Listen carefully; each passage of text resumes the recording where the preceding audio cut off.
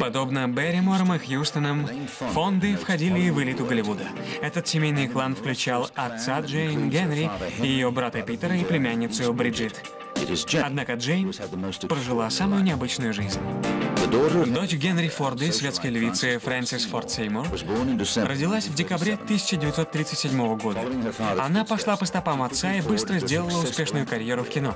Она получила Оскара как лучшая актриса в 1970 году за роль в тяжелой, но захватывающей драме «Загнанных лошадей пристреливают, не правда ли?», а позднее за роли в фильме «Клют» в 1972 и «Возвращение домой» в 1979. В тот же период Джейн приобрела широкую известность за свои политические взгляды и активность. В 1970 году вместе с Фредом Гарднером и партнером по фильму «Клют» Дональдом Сазерлендом она организовала антивоенную труппу, высмеивавшую политический водевиль Боба Хоупа. Она вызвала настоящую бурю протеста, когда сфотографировалась во Вьетнаме, сидя на зенитке, которая использовалась в бою с американской авиацией. Джейн неутомимо занималась благотворительной деятельностью, но при этом она являлась настоящим клубком противоречий. В начале карьеры она считалась мировым секс-символом, однако при этом поддерживала отчаянных феминистов. В 80-е и 90-е годы она много времени посвятила пропаганде аэробики, однако запомнилась в основном своей политической и антивоенной деятельностью. Она боролась против войны в Ираке и таких явлений, как женское обрезание. Ее карьера в кино 80-е шла хорошо. Она снималась в таких серьезных фильмах, как «На золотом пруду», «Китайский синдром» и «Девять к пяти». Я очень довольна тем, как складывается жизнь. В общем, ничего удивительного. Я разговариваю с молодыми людьми, я работаю с молодежью в Джорджии, где я живу, и они любят этот фильм.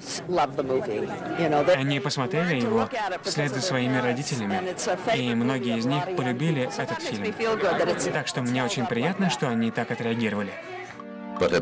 Но в личной жизни Джейн везло меньше.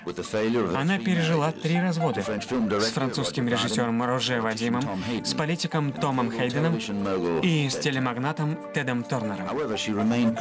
Однако с Роже Вадимом они остались друзьями, она присутствовала на его похоронах в 2000 году. В начале 90-х Джейн заявила, что устала сниматься, однако через 14 лет она изменила свое мнение и сыграла пару ролей в фильмах. Она защищала свою неудачливую партнершу по фильму «Крутая Джорджия» Линдси Лохан. Занимайтесь своими делами, потому что у звезд всегда что-то случается, и вы тут ни при чем. А кроме того, это вам не игрушки, это жизнь, и если вы ее разрушите, то ничем уже не сможете помочь. Она написала сценарий, в котором отразила свои непростые взаимоотношения с матерью. Я чувствовала то же, что чувствовала в те времена. Меня захлестнули эмоции, когда я готовила сценарий на «Золотом пруду». Понимаете? Это словно исцеление и прощение, словно что-то сломалось. Но мы никак не можем понять, что именно. Джейн вновь показала свой необычайный талант в роли сварливой звезды в фильме «Моя свекровь. Монстр». Это все Тед Тернер.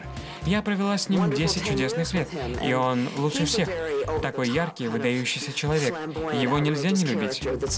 Я у него многому научилась. Смотрела, как он ведет себя, и училась. Он не монстр, конечно, но он научил меня скандалить. В 2001 году она стала ревностной христианкой, еще раз удивив всех. Однако мир привык, что от такой яркой женщины, как Джейн Фонда, можно ждать чего угодно. Режиссер Джон Стентон, продюсер Эндрю Томпсон.